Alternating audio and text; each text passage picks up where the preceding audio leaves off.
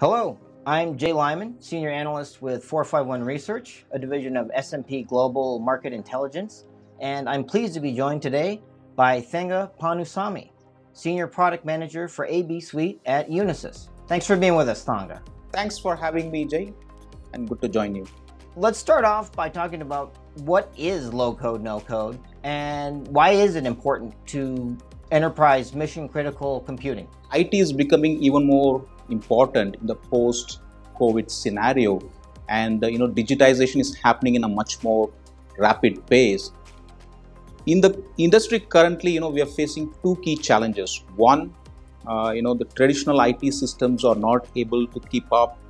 Uh, you know with the pace that the business needs okay that's the number one challenge the number two challenge is that uh, you know there is not enough developers to meet the business needs. And because of that many new initiatives don't kick off at all. So that's where you know to solve these two key problems you know low code no code product and technologies play a key role. Uh, they help in two ways. One as it says it's you know low code and no code. Uh, we enable the developers or the citizen developers to quickly uh, develop applications with minimal coding and also to enable you know people whom we call as a citizen developers you know who are relatively have lesser skills in IT you know they could also quickly be onboarded and they could start uh, developing applications. Yeah, you mentioned the citizen developers, and uh, you know our research shows that uh, there's a number of uh, critical stakeholders beyond software developers and IT operators uh, that are important to DevOps, to software development uh, and deployment, uh, whether that be traditional IT admins, uh, security teams, um, data analytics and data science teams, um, and as well as management and leadership. So there's sort of this whole host of non-developer people uh, that can benefit from from low code, no code. Is that you know an accurate statement? You think? The way you know we look at citizen developers typically uh, you know a non-IT person. He's still part of an organization, but he does traditionally you know he does not report to an IT organization. He could be you know part of a marketing department. He could be part of a sales department, or like you said, it could be you know some other operations team, a business operations team.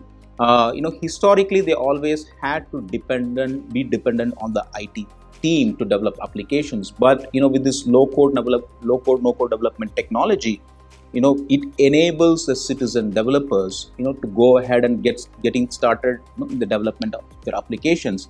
And all this could be done with the support of IT. In the past, you know, citizen developers have tried to do, and sometimes shadow IT can potentially develop, uh, and that could lead to potential governance issues. So the you know with the low code no code it not only enables citizen developers to quickly get started with application development but it also puts a good governance in place and that provides you know the support and blessing from the IT team as well. Now that we've discussed a little bit what low code no code is, uh, I'd like us to talk uh, a bit about what are the advantages, uh, synergies that enterprises can gain uh, by embracing a low code, no code approach? I think the number one is collaboration. Uh, you know, especially with the business and IT team having a better collaboration. You know, the business team could put together a quick prototype and then hand it over to an IT team to potentially develop it, or they could take the if it's a smaller application, they could do it kind of end to end. But I think the key piece is, you know, low code, no code tool sets provide a great platform for the business and IT to collaborate. I think that's the number one uh, top benefit that we see from our clients. Uh, the second one I would say is you know the speed in which you know you could go to market.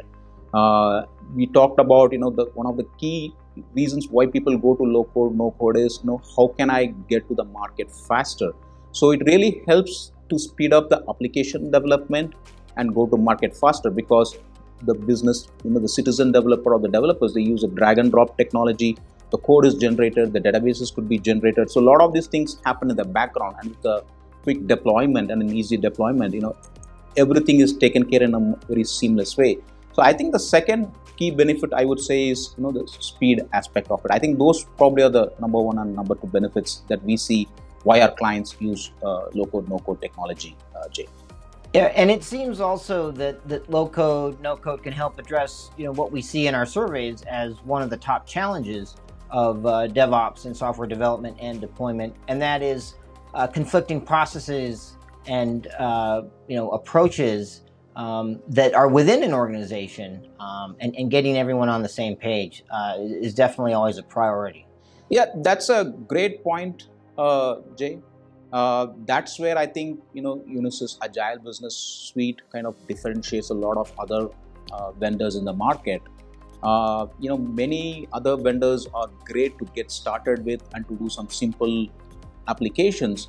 But when you're really looking at an enterprise grade application, you know, for a banking sector or for a large public sector client, the key thing is that you know there's going to be many developers. There are multiple citizen developers and there are multiple professional developers. They all need to collaborate in a very effective way and that's where the devops piece comes in in a very critical way you know somebody is developing a certain application and there are other developers also developing some similar you know or you know, parts of a component of that particular application so it's very important you know in the way you know the the, the whole application is managed across from the right from the source control from the testing aspect and all the way moving it into you know doing a user acceptance testing and finally moving it into the production environment. This whole thing needs to be effectively managed. And that's where you know uh, agile business suite kind of helps manage across the entire devops uh, cycle so that there aren't many conflicts again you know within respect to the developers helping in continuous integration and continuous uh, delivery as well uh, jay. Let's go ahead and focus on what are some of those key capabilities, features, elements that enterprises need to consider uh, when they're evaluating uh, a low code, no code platform? Uh, that's a great question, Jay. Uh, you know, there's hundreds of products in the low code, no code market space.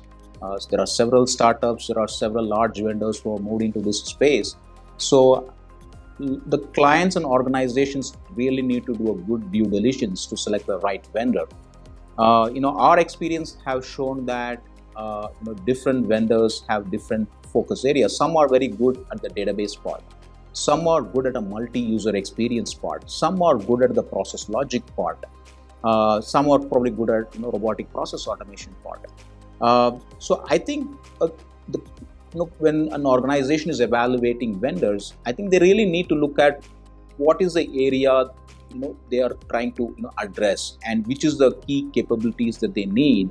And uh, there are vendors like AB Suite also, which kind of provides general purpose capabilities, which helps be it in the database part or be it in the you know the user interface part or it could be in the business logic part. So they really need to see whether their vendor is providing general purpose capabilities and providing the breadth of the capabilities. I think that's the first key aspect to look at.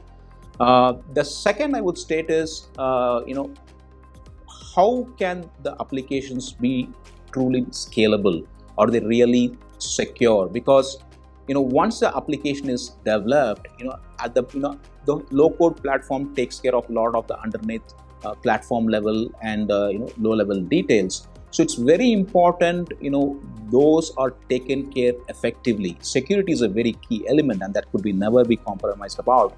And as the number of users continue to grow you know it really needs to scale up. So scalability becomes a very critical aspect. So you know i think they need to look at one from a capability standpoint and i think they also need to look at you know can my application truly become an enterprise uh, application. And the third thing I would state is that, you know, with a lot more new vendors into the market, we also need to see what kind of experience that vendor kind of brings into the table. Are they a proven vendor? Do they have clients who will, will truly have built mission critical applications uh, with their uh, low code uh, platform? So I think those would be the probably the three key aspects uh, to look at, Jay. Yeah, and you sort of touched on it, uh, but it always seems like it's a balance of giving developers and DevOps teams the tools that they want to work with, uh, but doing so so that their work is you know in a sanctioned, secure, and compliant way, and not the shadow IT uh, sort of deployments that that you mentioned. That that's always important that balance.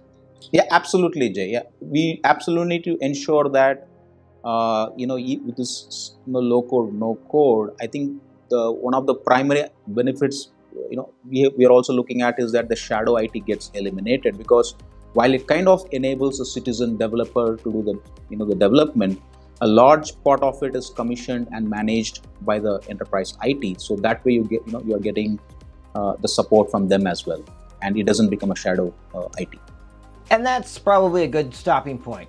Uh, but thank you very much, Thanga, for your time and the discussion today. Thanks for having me, Jay. Uh, if anybody wants to know more about AB Suite, you can check out our website, unisys.com. And to find more about our research and analysis, you can do that at 451research.com.